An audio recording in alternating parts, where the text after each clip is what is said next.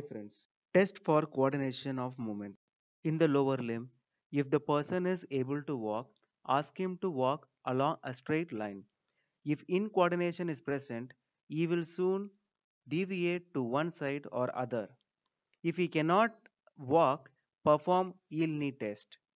This is one of the tests we perform usually for cerebellum function test or coordination test of the lower limb.